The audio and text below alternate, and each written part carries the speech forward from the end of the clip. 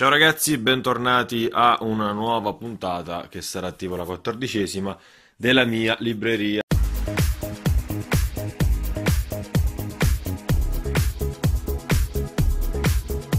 Me l'avete chiesta in tanti, quindi rifaccio, anzi faccio un nuovo video su quelli, questi qui, su tutti i libri che ho. Allora, questo reparto l'abbiamo già visto, mancano tipo tutti questi qui, quindi faremo una scorsa velocissima a tutti questi romanzi e libri.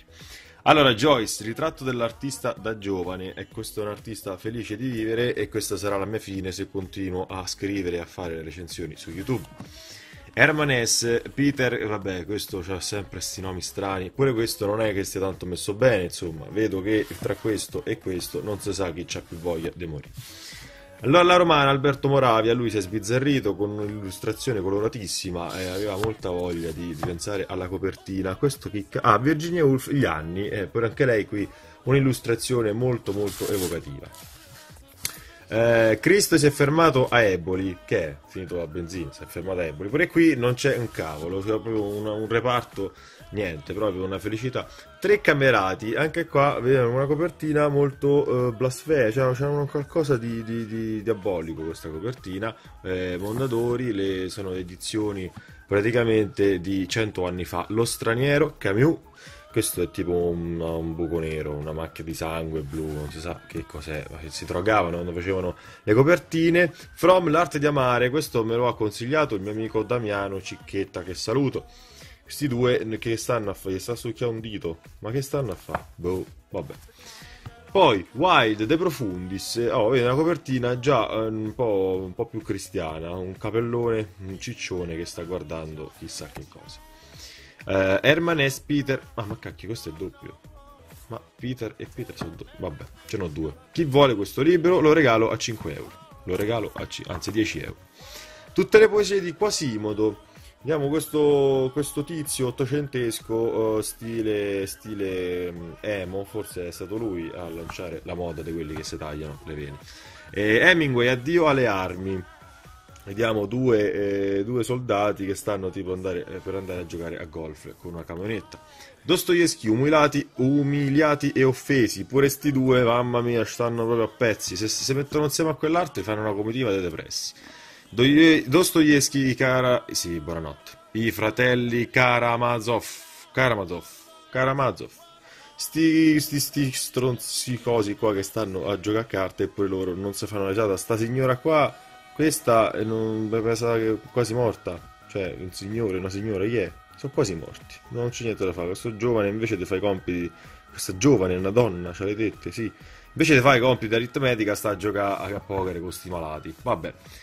Tolstoi, Resurrezione. Vediamo qua una tizia, una specie di contadina. Che cavolo è questo velo bruttissimo che sta leggendo a, a, alla luce di una specie di abajur tutta gialla. Vediamo, fa luce, luce qui.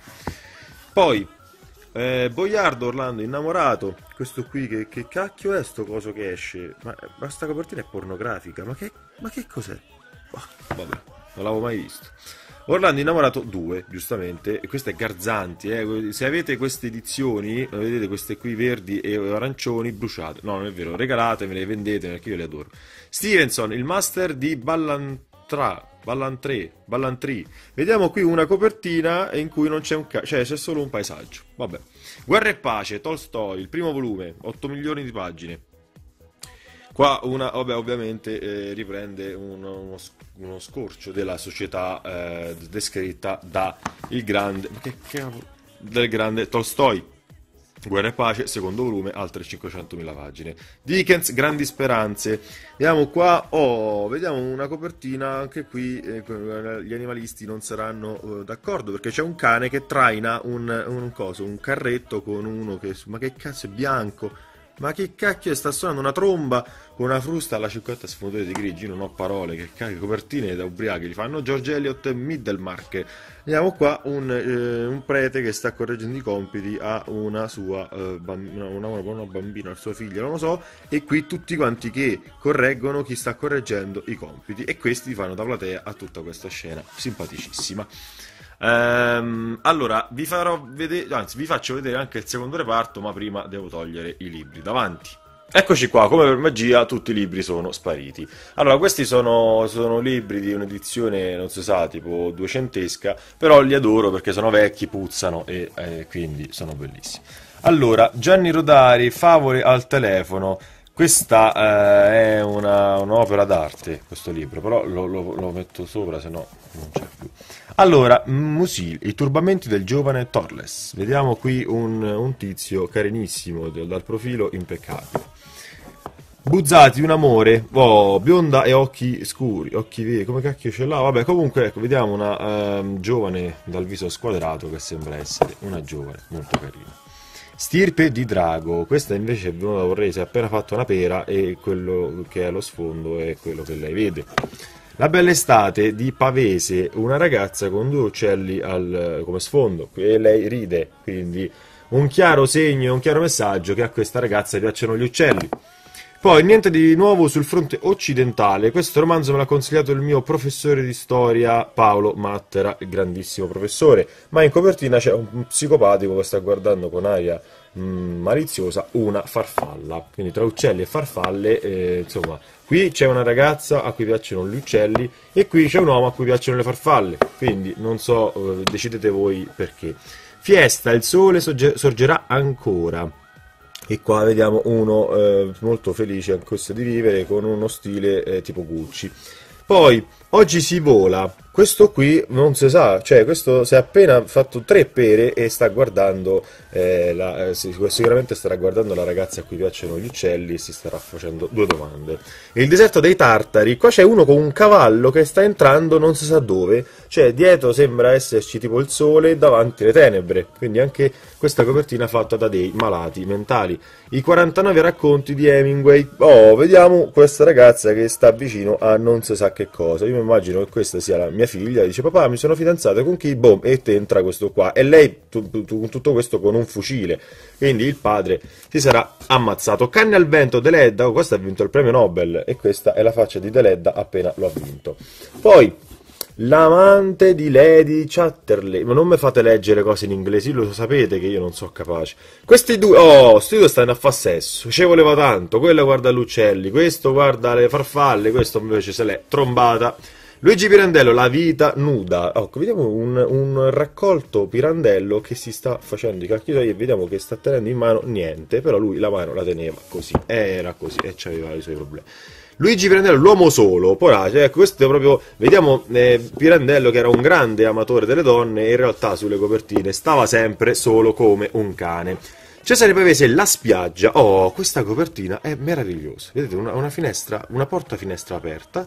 Sto tizio che eh, è corso, diciamo, sulla spiaggia, ma si è fermato. Però è vestito, giustamente perché uno in spiaggia ci va con i jeans e, e, e il maglione.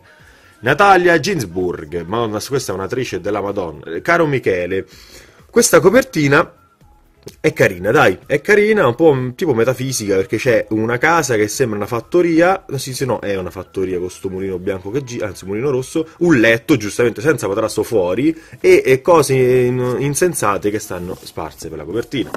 Gabriele D'Annunzio l'innocente, oh, questo è D'Annunzio quando si faceva, eh, non lo posso dire, vabbè, lo dico. D'Annunzio aveva una specie di mm, malattia mentale, diciamo, perché era malato D'Annunzio e si faceva defecare in faccia. Oh, io so, so, che sto facendo schifo, ma è una cosa reale, reale, reale. Gabriel Garcia, Gabriel Garcia Marquez. Si fiori bruciati in copertina, bellissimo. Ancora Marquez, ancora altri fiori. Ma che faceva il giardiniere? Altri fiori a Marquez, ma che ha deciso?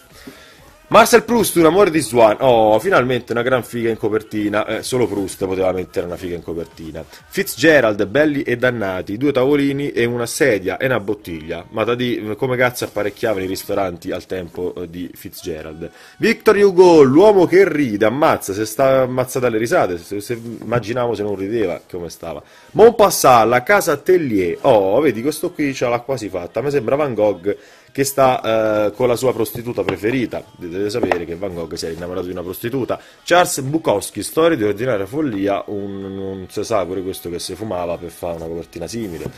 Allora, poi chi, chi c'è Jack London, il tallone di ferro, e poi c'è in copertina un tallone con dei tacchetti di ferro. Bellissimo, mi sto commuovendo. Gro, Groger, Groger Thomas Mann. Allora, questa copertina è assurda, cioè c'è un uomo gobbo, secco come un chiodo, con un cappello bianco che sta camminando sullo sfondo, una foresta metafisica anch'essa. Poi, ma che è qua? Ma chi è questa? Ma chi è? Ma questa sembra una cinese che fa i massaggi che ha appena, appena fatta la doccia. Vabbè, Filippo qua, boh, non ce ne interessa niente.